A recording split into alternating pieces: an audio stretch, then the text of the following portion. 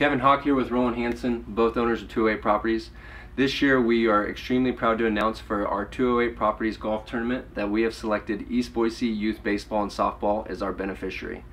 East Boise Youth Baseball and Softball is very near and dear to me personally and our company for the fact of it is such a great place for kiddos to get out, get everything active, get out there and go play, fail forward, get great friendships, relationships out there and learn a lot. And that was something that really parlayed in my life and we're very grateful as a company to be able to donate to a local nonprofit.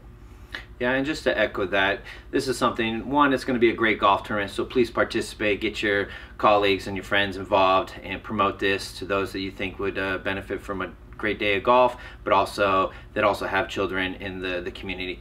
That being said, the, the monies are going to go to a great organization that's going to promote kids' activities, and that's something that really means a lot to us. Somebody that has children and, and wants to promote that. So please participate. Here in a second, Billy will speak about the organization where the monies will go. Look forward to seeing you out there. Let's have some fun. Hi folks, Billy Espandola, president of East Boise Youth Baseball and Softball, or the more common acronym that you might see out there, EBYBS. EBYBS is comprised of both baseball and softball uh, leagues that we offer to kids and players ages 5 to 15. We're a 100% volunteer organization.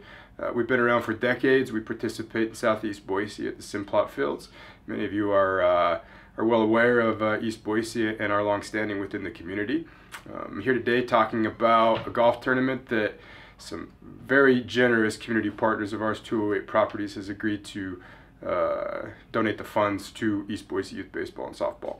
Being a, that we are 100% uh, volunteer league, it's really important that we do have great community partners like this. We couldn't do it, we couldn't participate, we couldn't offer a beautiful complex for our kids to play at, we couldn't have the uh, low cost of registration that we do offer without great community partners like 208 Properties, Roland Hanson, and Kevin Hawk.